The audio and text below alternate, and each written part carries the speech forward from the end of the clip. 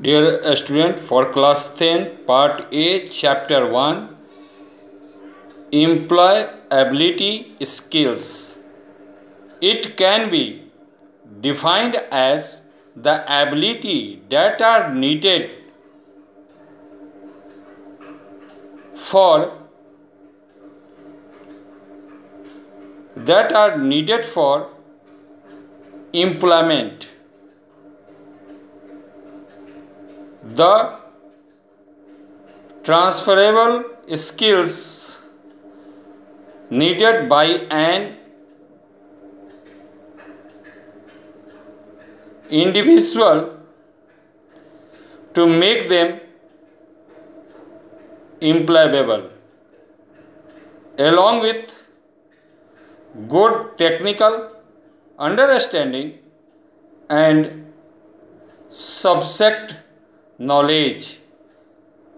Employers, after outline a set of skills that they went from an employee.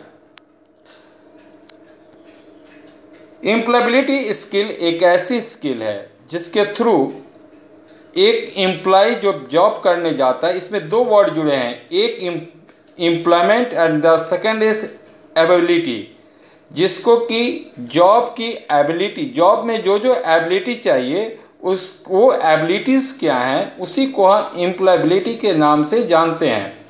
Employability के अंतर्गत एक employer employer किसको बोलते हैं? जो कर, जो मालिक है या फिर जो संगठन है उसके जो मेंबर्स हैं they are employers and the person that work in that organization is known as employ और एम्प्लॉय के अंतर्गत एम्प्लॉय के पास जो एबिलिटी होती है, उसके ही, उसी को हम एम्प्लॉयबिलिटी स्किल्स के नाम से जानते हैं। Employability skill are sometimes called foundational skills and job readiness skills they are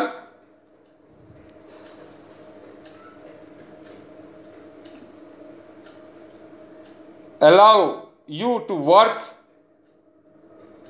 with others apply knowledge to solve problem and fit into any work employment or environment they also include the professional skill that enable you to be successful in the workplace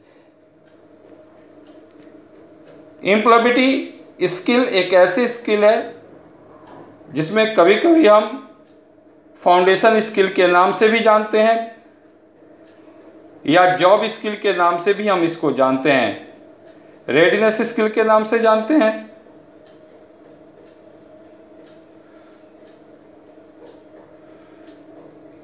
या आपको, आप जो है, जब भी आप अपने work place पे जो काम करते हैं, वो काम आप कितने अच्छे से कर सकते हैं यह एम्प्लॉयबिलिटी स्किल के अंतर्गत आती है।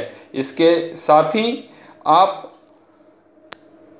के पास प्रॉब्लम सॉल्विंग की कितनी अच्छी टेक्निक्स है, आपने ग्रुप मेंबर के साथ कितने अच्छे से रिलेशनशिप रखते हैं। फिर कहता है कि needed of successful soft skill के नाम, इसके एम्प्लॉयबिलिटी स्किल और soft skill we needed to be successful ये किस किस चीज़ पे डिपेंड करता है? तो सबसे पहले है कम्युनिकेशन स्किल फिर कहता है problem solving skill team work skill leadership skill flexibility skill interpersonal skill और वर्क एथिसिक स्किल कम्युनिकेशन स्किल का मतलब है कि आप दूसरे से कैसे कम्युनिकेट होते हैं, किस तरह से आप उनसे बातचीत करते हैं। प्रॉब्लम सॉल्विंग अगर आपके जॉब में किसी भी तरह का ऑफिशियल आप जब काम करते हैं तो आपके काम के अंतर्गत बहुत सारे तरह के वर्क आते हैं। उस वर्क को आप कैसे सॉल्व करते हैं? आपका टाइम मैनेजमेंट कैसा है? आपके आसपास या आपके सीनियर्स और जो जूनियर्स आपके साथ वर्क करते हैं, उनके साथ आपका बिहेव कैसा है? ये सभी एम्प्लॉयबिलिटी स्किल्स के पर डिपेंड करते हैं। आपका लीडरशिप क्वालिटी कैसा है? आपने जो रिलेशन डेवलप किए हैं अपने ऑफ़िस में, वो वो आपको काम करने में कितनी मदद कर रहा है? आप अपने जूनियर्स का कितना ख्याल रखते हैं और उनके काम में कितना हाथ बटाते हैं, ये भी जो है इम्प्लाबिलिटी स्किल के अंतर्गत आता है।